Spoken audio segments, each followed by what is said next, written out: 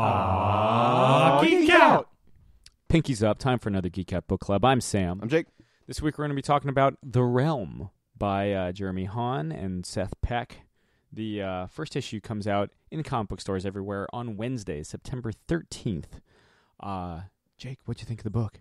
Oh, it was it was pretty wild. I, I really enjoyed the um, like they had like the come over like period piece weapons, which was cool. The detail on those. Well, it's weird because this book is like swords and sorcery, but Yes. it's not swords and sorcery because it's also modern day. yes, It's post-apocalyptic, but it's not like nuclear apocalypse. It's like fantasy apocalypse. yeah. So It's- yeah, and then it's got like kind of like World War II era weapons thrown in there. yeah, Um, steampunk elements. yeah, like yeah. There's um, magic. I don't know if he's been named yet. Correct me if I'm wrong, but like the be- like the the the skull wearing beast man at the end Mm. Yeah, is like the m- most metal as fuck moment in in recent memory. Like the destroyer of worlds. Yeah, Yeah. it's just he, he when he shows up, he's free. His look is awesome. Yeah, Um, and yeah, I mean, I just it's it's again we've said it a million times on these number ones, but I kind of have no idea what's going on, and that's great and I love it. because that's what uh, you know we're getting kind of introduced to all these different characters. yeah, Um, and just great designs too. I really enjoyed the designs of all the characters, good guys, bad guys, um, all that. The world, like you said, it's it's not.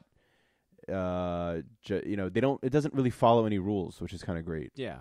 It, you know, it's it's a prodigious blend of things that you know, elements that we've seen before but never mixed together. Mhm. Um, you know, have we seen orcs before? Sure. Have we seen orcs with machine guns? Maybe. Have we seen orcs with machine guns in a post-apocalyptic world? Fuck no.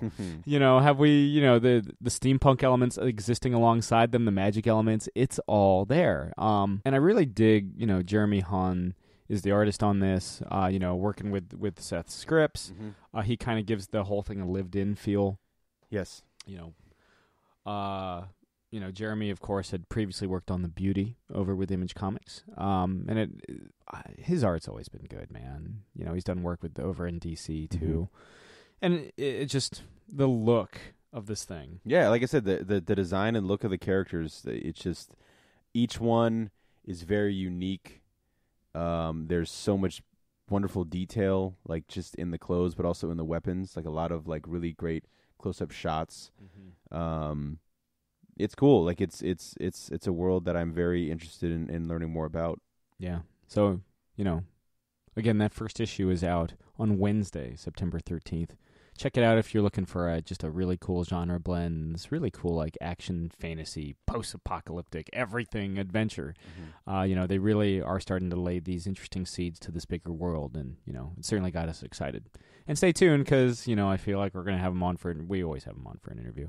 So yeah, this has been another installment of Geek Out Book Club. I'm Sam. I'm Jake. Keep reading.